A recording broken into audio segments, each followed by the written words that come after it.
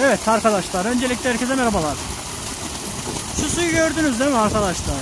Bu su o insanların yaşayabilmesi için en önemli hayat kaynağıydı.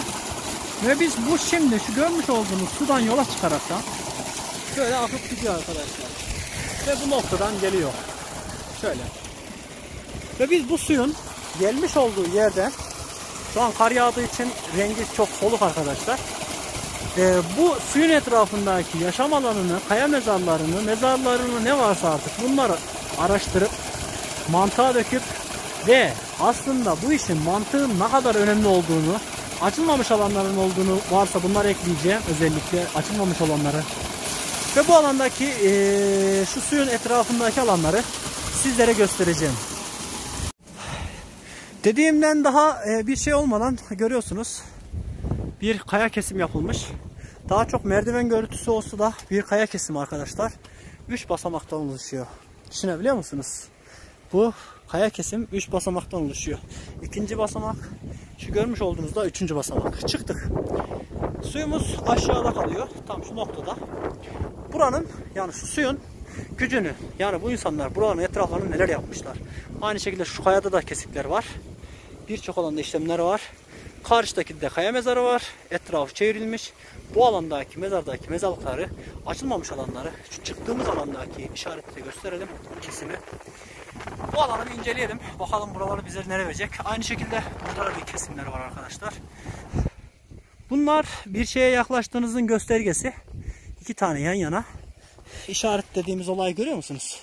Yanından küçük bir geçiş sağlıyor.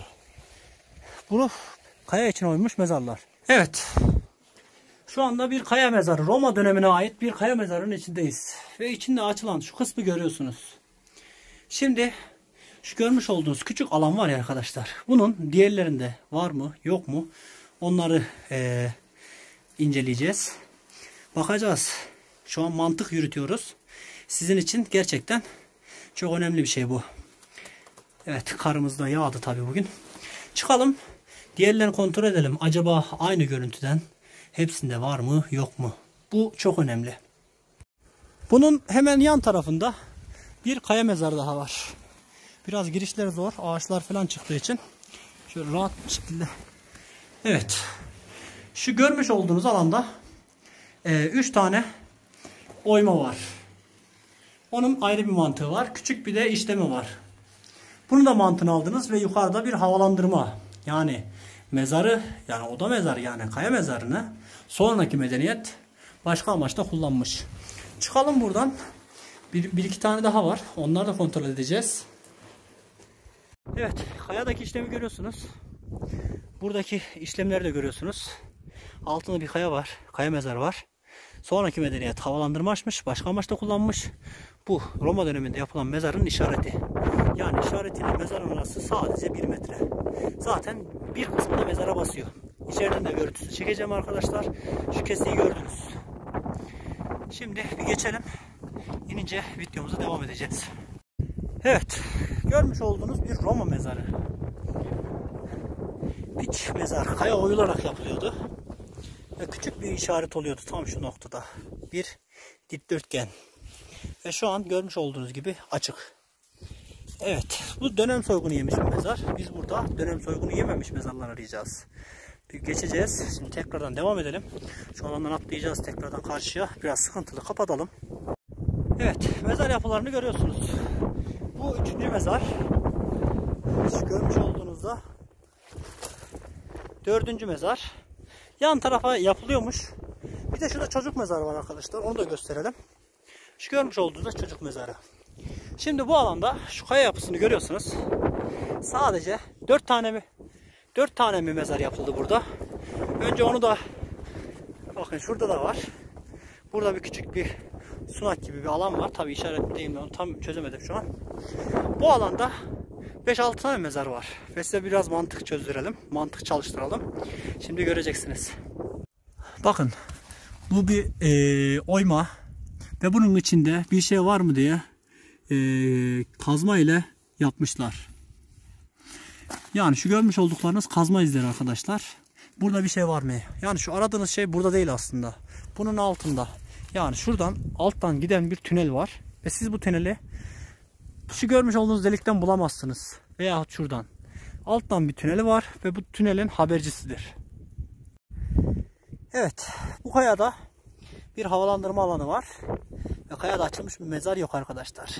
Neden yok diye size şimdi soruyorum. Demin 3 tane mezar gösterdik. Bunda yok. Ve böyle havalandırma deliği var. Evet. Ses biraz geliyor. Biraz da aşağıdan kontrol edeceğiz. Ondan sonra tekrardan devam edeceğiz. Şu görmüş olduğunuzda. Özellikle buraya eklenmiş. Hani diğerinde bir küçük bir alan vardı hatırlıyor musunuz? Şöyle küçük bir sandık gibi bir şey vardı. İşte onun şu anki kapalı hali bu da. Evet. Şöyle vurduğumuzda vurabileceğimiz taş var mı diye bakıyorum. Evet bir tane taşımız var.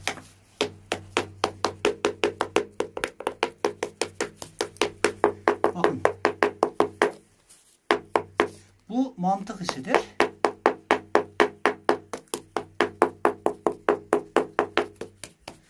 Bakın buralarda yok. Buralarda yok ve küçük bir alandasınız. Evet. Tepedeki havalandırmamız. Gezdik ve bu alana geldik. Şu anda ilk gösterdiğim alanda böyle bir çukur vardı. Bu çukuru görmüştünüz. Ve çukurun yanında arkadaşlar bakın. Bunun dışında yani şu taşın demek istediğim mantık olay budur. Şöyle biraz daha ışıklandırma yaparsak. Şu rengi görüyorsunuz. Burası küf kayadır. Yani işlenebilir kayadır.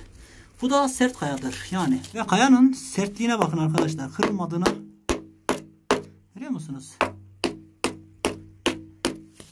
Bakın bu ses çatlaklıktan gelmiyor ha arkadaşlar.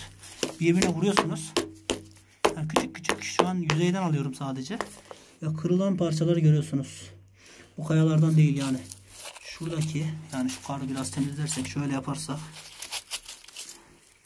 şu alandaki kayayla bu alandaki kaya bir değil. Evet gördünüz sesi. Bu da açılmamış alanlar olarak notlarınıza alabilirsiniz. Şimdi durduralım. Ve burası gerçekten mükemmel bir yer. Mantık dedim ya. Yan yana 3 tane mezar gördünüz. Ee, yukarıda oyulmuş, kaya içine oyulmuş kaya mezarlarını gördünüz. Şimdi de o 3 taneyi gezdiniz. İçinde küçük bir alan vardı. Onun yanında bir sandık gibi küçük bir açılmış alan vardı. Ve bu mezarda şu anda o görüntü yok. Çünkü niye yok? Bu küçük alan var. Çünkü orası bura, beraber açılacak. Yani şu nokta görmüş olduğunuz alan burada küçük bir alanın habercisi. Evet. Sesi duyuyorsunuzdur.